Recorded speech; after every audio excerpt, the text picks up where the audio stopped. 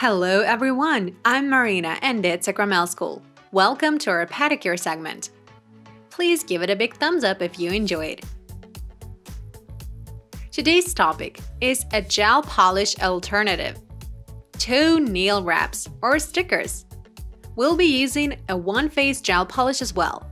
Watch till the end to see the technique.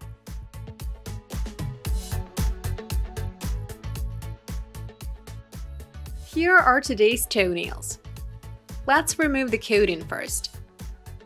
All the work is performed by our pedicure instructor and podologist Olga. She's left-handed, so she goes from right to left in the reverse position. Let me know in the comments below how many of you are left-handed too.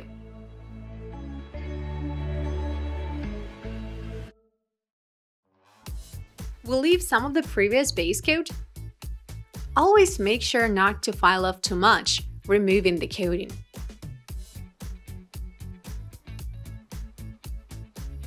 Since toenails are small, the only exception is a big toe. Go from right to left if you are right-handed, and go from left to right if you are left-handed. Make smoothing moves. They help to remove the coating without damaging the nails. Overfiling may result in peeling, curling, or even ingrown nails. So be careful. Now shape the free edge. Remember that we don't make round corners in a pedicure to keep the nails from growing in. We can remove leftover base coat with a 180-240 grit file or use a hard buffer. To avoid the risk of damaging the nails with a carbide drill bit.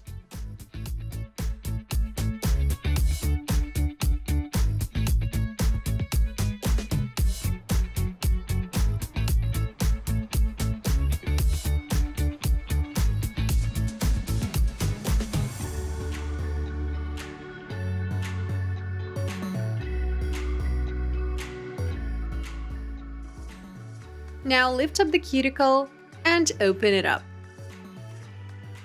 We will process it with a rat cone diamond drill bit with a dull tip.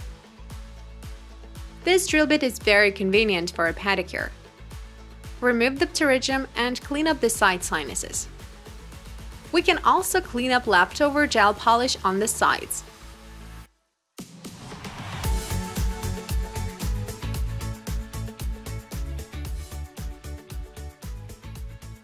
Hold the toe tight and pull the nail fold well.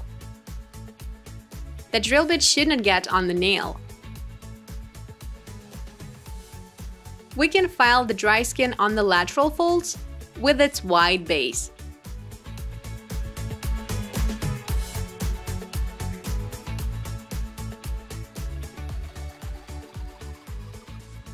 Process the left sides in the forward position.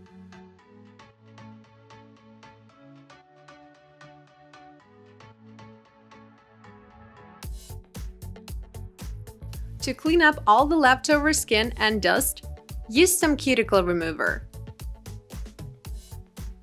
This step will help to touch it all up.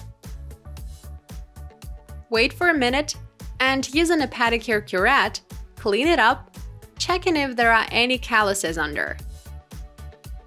Wipe off the leftover remover and cut the cuticle using scissors or nippers. Note that in a pedicure, we don't need to get too deep. Manicure rules don't apply here, since feet are no hands.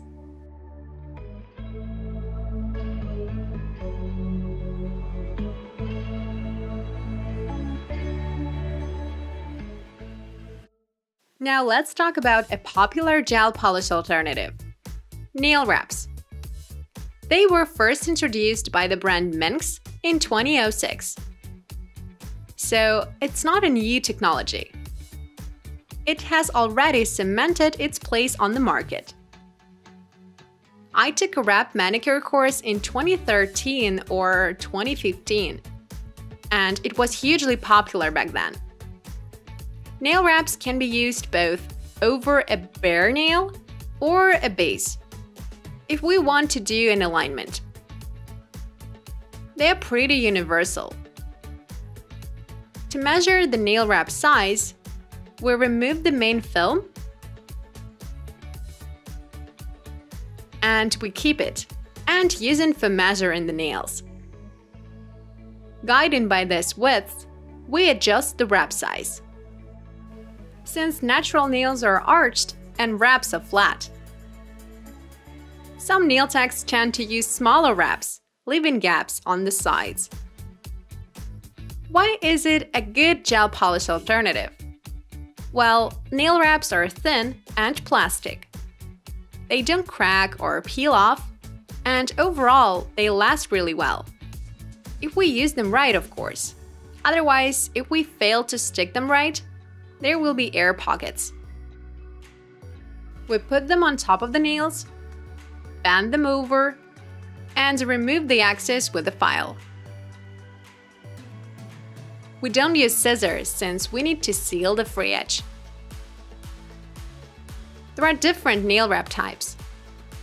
Thicker ones need some heat before use. And these are soft and plastic. There is a huge variety nowadays. They are super thin and stretchy.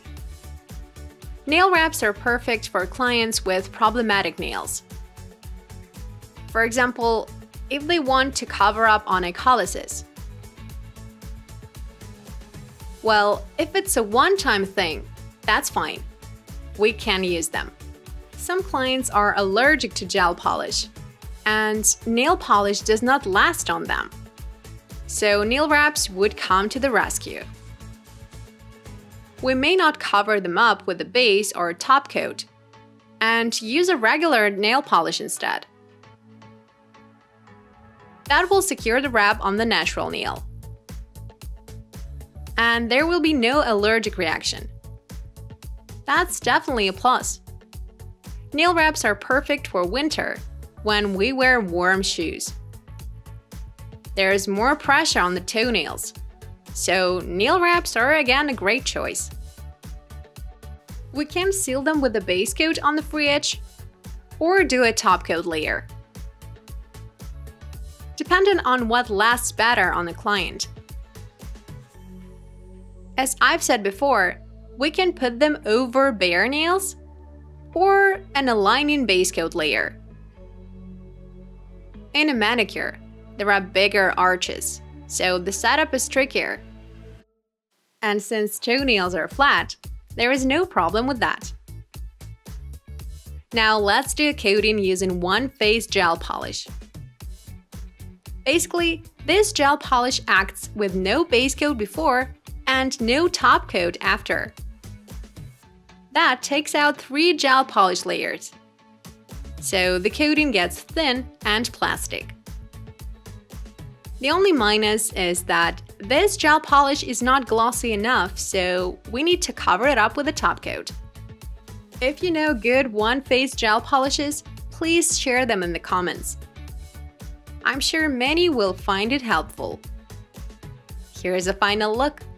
A thin and plastic coating. So it will cause no problems in the winter time. Give this video a big thumbs up if you enjoyed it, and I wish you all success in your work. Good luck. Bye bye.